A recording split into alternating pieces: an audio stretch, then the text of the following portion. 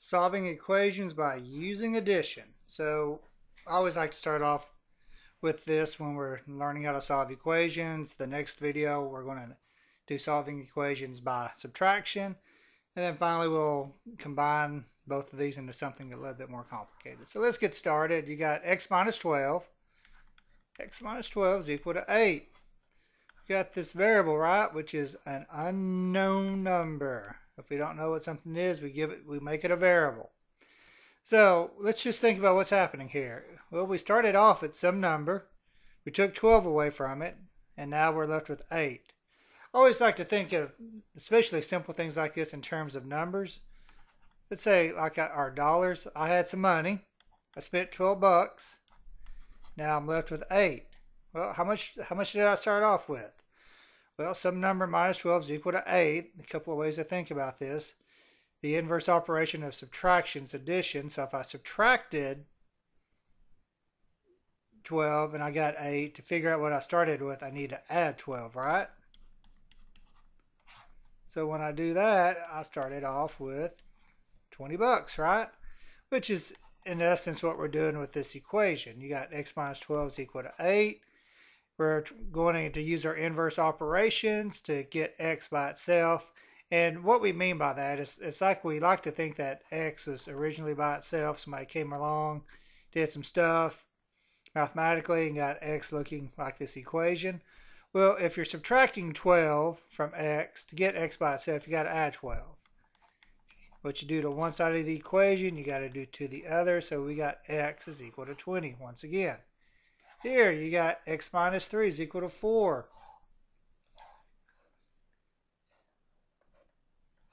Right, 1, 1, 2, 3, 4. Right, so we got x minus 3 is equal to 4.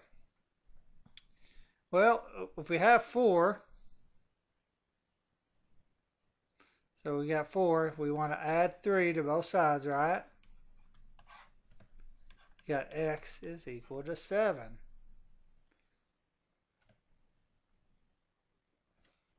And that makes sense because if we're going to continue our model, 5, 6, 7, right? We take away 3 from our model.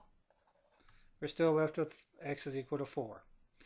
Another way to do this model, is, and this kind of works with these smaller problems, 1, 2, 3, 4, right? Well, you're subtracting 3, so when you add 1, 2, three more to it, you come up with 7, right? But once again, it's really, we're just doing inverse operation. So x minus 3, you add 3 to both sides, got x is equal to 7. Let's look at our next example. Well, we got x minus 6 is equal to 0. So I started off with some money, spent 6 bucks, and now I'm broke. How much money did I spend? Spent $6, right?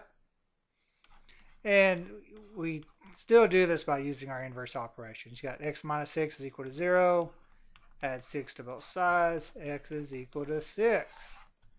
Last problem. x minus 9 is equal to 6. We've Got our unknown quantity. We're taking 9 away from it, and we've got 6 left, right? So we're going to use our inverse operations. We got a minus 9 if we're subtracting 9 from x to get x by itself, you got to add 9. So sometimes people like to draw a line down through here. You, you don't have to, but x minus 9, subtract, is just left with x, right? 9 minus 9 is 0. If you added a 9 over here, you got to add a 9 over here, right? 6 plus 9 is 15. We'll check our answer. 15 minus 9, and that is equal to 6. So x must be equal to 15. Next presentation, we'll do solving equations by subtraction.